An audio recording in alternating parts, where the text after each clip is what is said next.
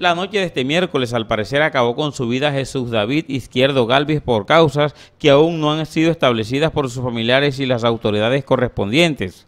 Izquierdo Galvis, de 17 años, vivía en el barrio Las Delicias del municipio de Bello, en la Sierra Nevada de Santa Marta. Se dice que el occiso presentaba unos dibujos en una de sus manos, al parecer, unos corazones hechos con tinta de lapicero. Por otro lado, en esta ciudad falleció Jorge Eliezer Hernández Navarro, de 23 años, al parecer en un accidente, pero sus familiares reunidos en el Instituto de Medicina Legal y Ciencias Forenses dijeron que no iban a dar declaraciones a los medios de comunicación.